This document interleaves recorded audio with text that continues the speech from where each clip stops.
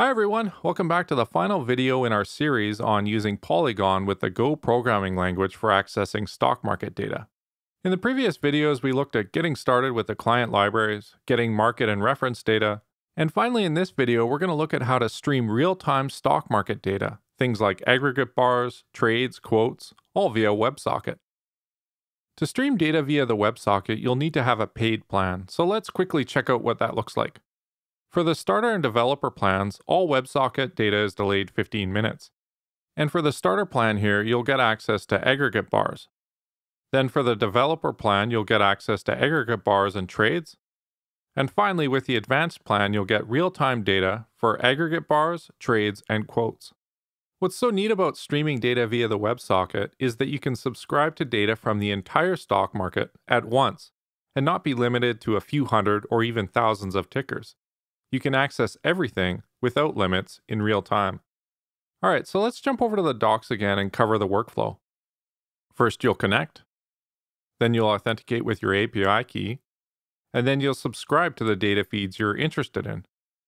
Once you're subscribed to a feed, you'll start to see a stream of messages wrapped in a JSON array like this.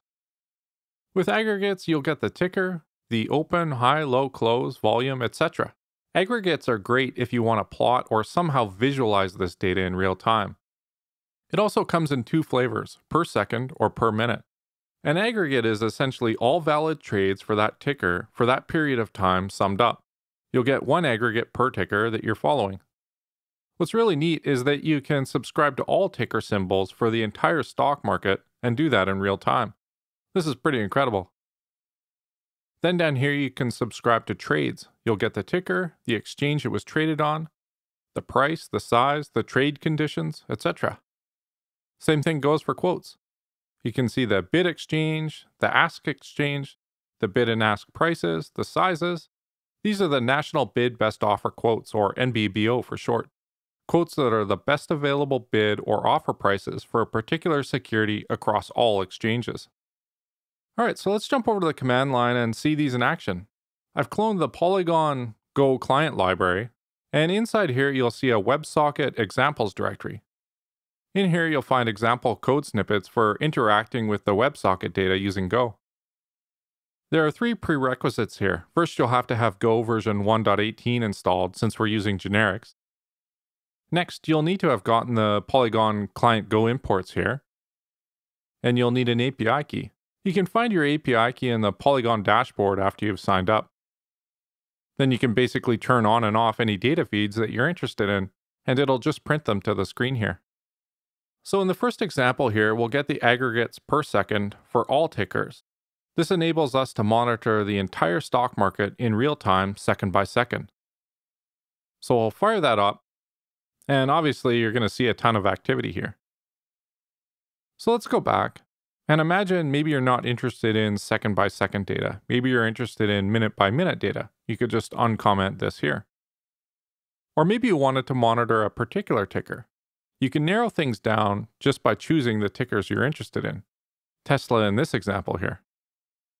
So what about trades or quotes? Well, if you uncomment the all trades option here, and we'll save and we can jump back to the console. As you can see, this is a real fire hose of data in that we're getting all trades executed across the entire stock market in real time. This is a pretty neat demo since it shows you the activity level. If we go back, we can also do the same thing for quotes. Or better yet, you can also subscribe to multiple feeds at once. We'll do that for trades and quotes. And we'll run this, and you can obviously see it's a flurry of activity. If you were doing this for real, you wouldn't be printing it to the console, but you get the idea. So what's this useful for? Well, having real-time data is essential for, you know, monitoring portfolio performance. Maybe you want to react really quickly to news. Maybe you're doing some research. Many folks are also making day trading decisions with this data. And let's not forget executing algorithmic trading strategies. All right, I know this is a very simple example, but it proves our setup is working. Thanks for watching, and I hope you found this video useful for how to get started using real-time stock market data with Polygon and Go.